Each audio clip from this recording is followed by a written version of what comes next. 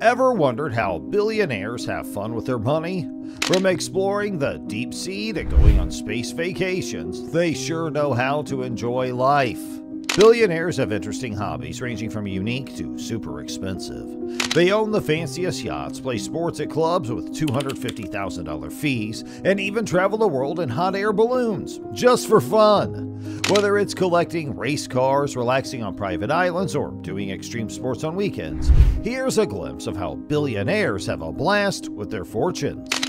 Jeff Bezos has an incredible $180 billion in wealth. One especially interesting passion of Blue Origin's co founder, which combines work and leisure, is exploring the ocean's depths in search of abandoned NASA rockets. Massive thrust chambers from the Apollo 11 mission were among the Saturn V rocket parts that the billionaire and his crew recovered from the Atlantic's depths. With a crew of 60, Bezos' first high seas expedition lasted for almost three weeks. This kind of large scale exploration often costs more than $1 million each expedition. Operating an ocean research vessel typically costs $40,000 per day, which, when combined with the cost of hiring a crew of researchers and maintaining all the sophisticated equipment on board, makes Bezos' unusual pastime rather costly.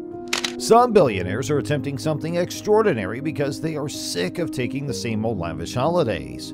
Charles C. Simonyi, a Microsoft Office millionaire, is presently valued at over $5.2 billion. When he spent $60 million on two flights with the Space Adventures Tour Company, he became the first millionaire in space.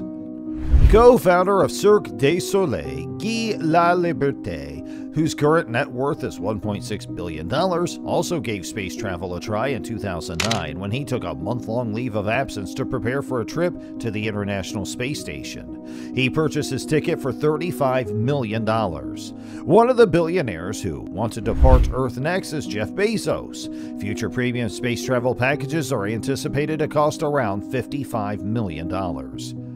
As everyone knows, boats are a passion of the wealthy, but billionaire yachting is a whole other story.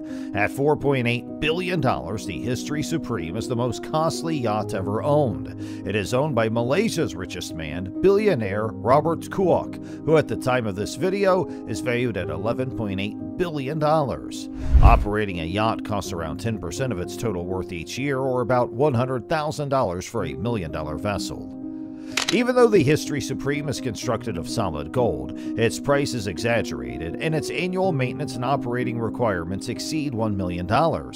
Larry Ellison, the creator of Oracle and presently valued at $134 billion, enjoys sailing. Recently, he sold his $200 million ownership position in Sail GP Sailing League.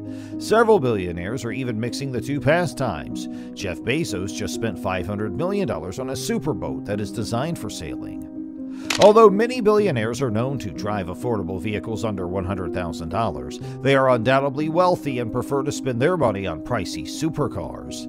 Elon Musk, the CEO of Tesla, purchased the Lotus Elise underwater vehicle seen in James Bond's The Spy Who Loved Me for about $1 million, and Musk is now worth about $193 billion. Some effects from this vehicle can also be seen on the Tesla Cybertruck. In addition, he ended up spending close to $1 million on a McLaren F1. Mark Zuckerberg, whose net fortune is now estimated to be $130 billion, owns a single extremely expensive vehicle, a $1.3 million Pagani Huayra. Billionaires enjoy flying, and not only on private aircraft. Some billionaires have an inventive streak. Richard Branson enjoys traveling by hot air balloon. The founder of Virgin Group, who is presently valued at $5 billion, made successful hot air balloon crossings of the Atlantic and Pacific in 1987 and 1991, respectively. Even yet, his journey came to an abrupt stop when he had to plunge into the sea. The expense of hot air ballooning is rather high. The balloon itself may cost up to $20,000 and flying instruction can cost up to $2,750.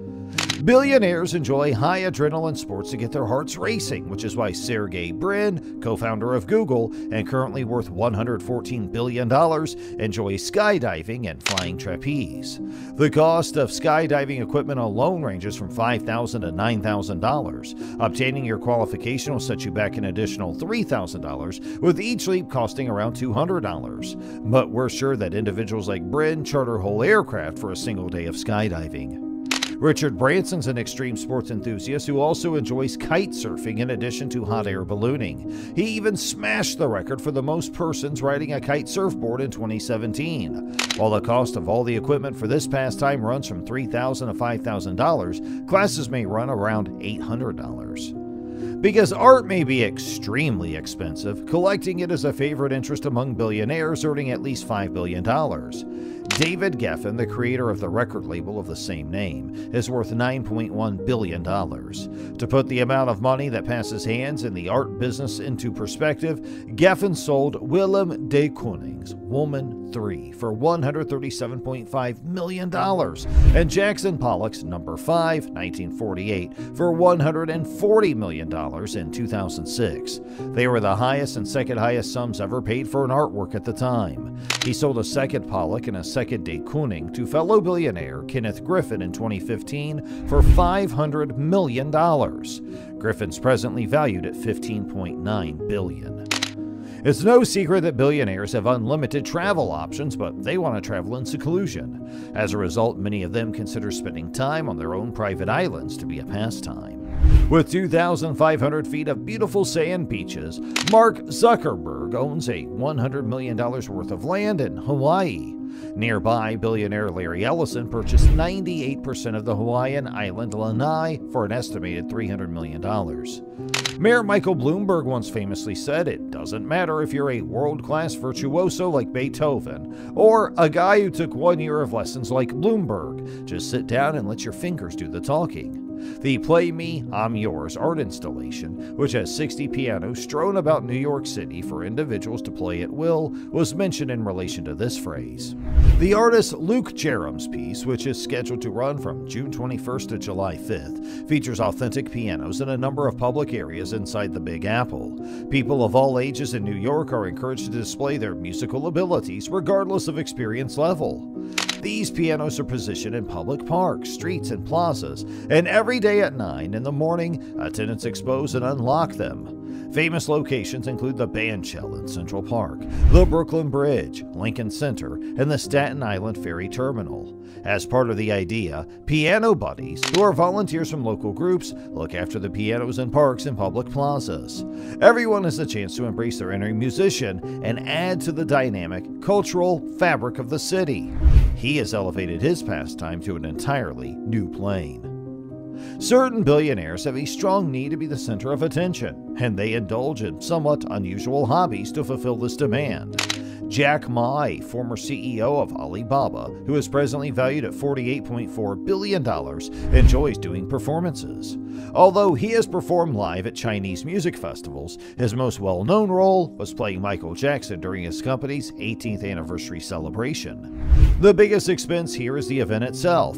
He played to 40,000 workers at a reception that cost at least a million dollars. However, he offered no compensation for his amazing performances.